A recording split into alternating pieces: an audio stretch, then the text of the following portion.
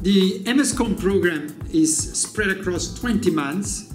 Uh, it is organized in uh, sessions of one week each, uh, with the exception of the UCLA session, which lasts uh, two weeks. Our program is taught by a total of 27 faculty members uh, who come uh, from different universities and business schools, and of course from the University of Lugano. We have chosen these faculties because of their specific expertise and also ability to teach to uh, executive. The EMScom programs is organized in three main modules. Each module uh, contains several courses. The first one is about management and communication, understanding the role of specific areas of management for our discipline.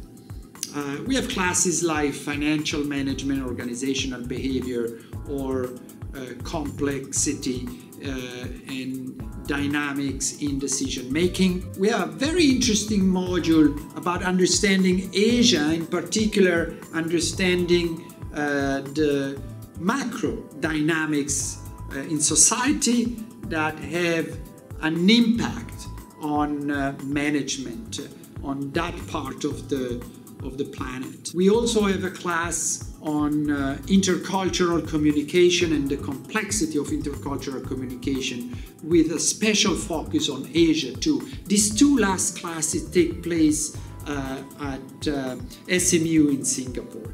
We have then a very interesting session at UCLA uh, focused on complexity in decision making. We start with a course on the cognitive aspects of uh, decision making, looking at uh, variables like risk, ambiguity, etc.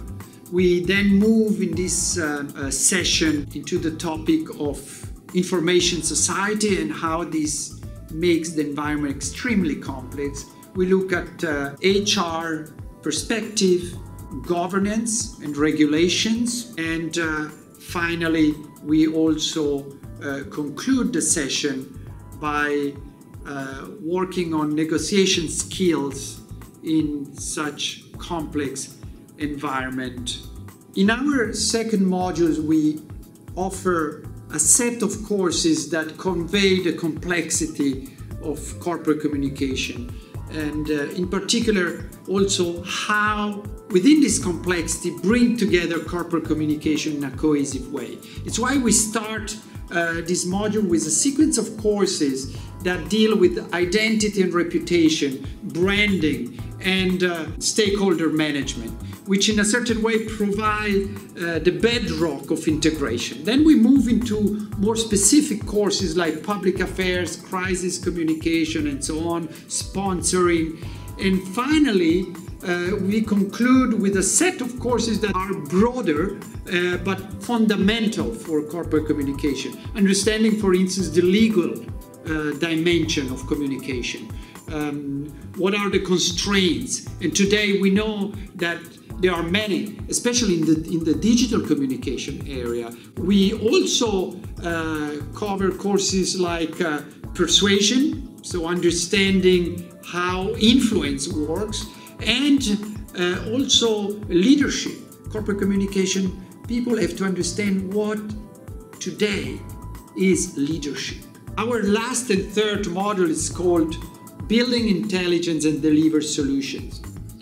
We have courses like uh, research methods, data analysis, but also team building, because today uh, research, evidence collections require cross-divisional efforts. In this last module, we also include what we call the capstone consulting project. This is a nine months consulting project that participants carry on in teams uh, with companies they choose from their own employers.